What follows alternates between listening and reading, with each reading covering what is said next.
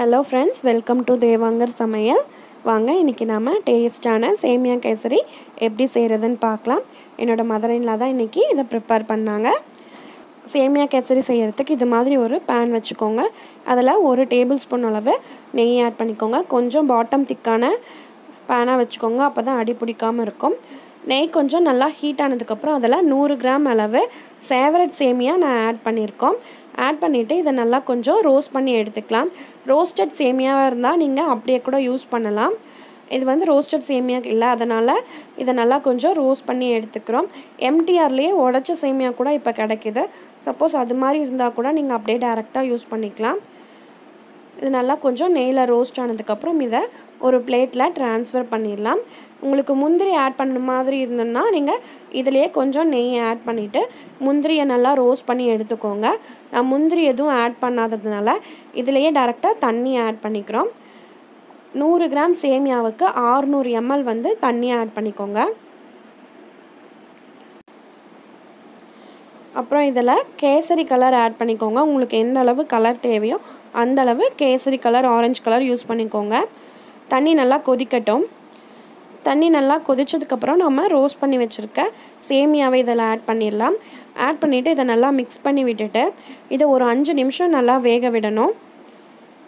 சேமியா நல்லா வெந்துருச்சான்னு செக் பண்ணதுக்கப்புறமா நாம் இதில் ஒரு கால் கிலோ அளவு சுகரை ஆட் பண்ணிக்கணும். ஒவ்வொரு சேமியா ஒவ்வொரு மாதிரி வேகும். ஸோ உங்களோட சேமியா எந்த அளவுக்கு வெந்திருக்கு அப்படின்னு செக் பண்ணிவிட்டு சுகர் ஆட் பண்ணுங்கள் சுகர் ஆட் பண்ணதுக்கப்புறமா சேமியா வேகாது. ஸோ நீங்கள் செக் பண்ணிவிட்டு சுகர் ஆட் பண்ணிக்கோங்க. சேமியாவை நல்லா மிக்ஸ் பண்ணி விட்டுடலாம். சுகர் நல்லா மெல்ட் ஆகி வேகும்.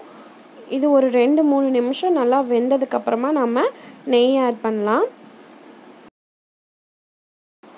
ஒரு மூணு நிமிஷம் சேமியா நல்லா வெந்துருச்சு. இந்த ஸ்டேஜில் நாம் ஒரு ரெண்டு டேபிள் ஸ்பூன் அளவு நெய் ஆட் பண்ணிக்கலாம். நெய் ஆட் பண்ணதுக்கப்புறமா இதை நல்லா மிக்ஸ் பண்ணி விட்டுடணும் மிக்ஸ் பண்ணி விட்டுட்டு இதை இன்னும் ஒரு ரெண்டு நிமிஷம் நல்லா வேக விடணும் நல்லா திக்கான கன்சிஸ்டன்சி மாதிரி சேமி ஆகணும். அது வரைக்கும் இதை நல்லா நாம் வேக விடணும். சேமியா வெந்துட்டுருக்கும் போதே கொஞ்சம் குழியாக இருக்க பிளேட்டில் நெய் அப்ளை பண்ணி வச்சுக்கோங்க. அப்போ தான் வெந்ததுக்கப்புறம் ட்ரான்ஸ்ஃபர் பண்ணி பீஸ் கட் பண்ண முடியும்.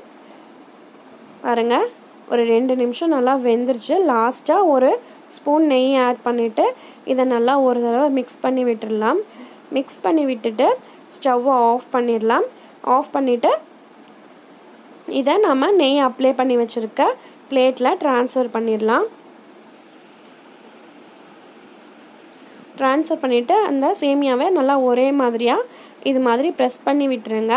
ப்ரெஸ் பண்ணி விட்டுட்டு இதை ஒரு கால் மணி நேரத்துலேருந்து அரை மணி நேரம் வரைக்கும் நல்லா ஆற விட்டுட்டு கத்தியால் உங்களுக்கு எந்த ஷேப்பில் வேணுமோ அந்த ஷேப்பில் கட் பண்ணி எடுத்துக்கலாம். டேஸ்டான சேமியா கேசரி ரெடி ஆகிடுச்சு நீங்களும் ட்ரை பண்ணி பாருங்கள் தேங்க்யூ